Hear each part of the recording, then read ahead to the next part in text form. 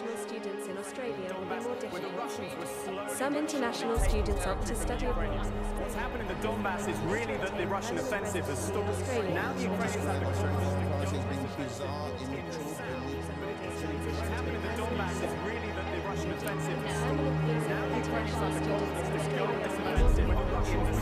Some international students opt to study abroad.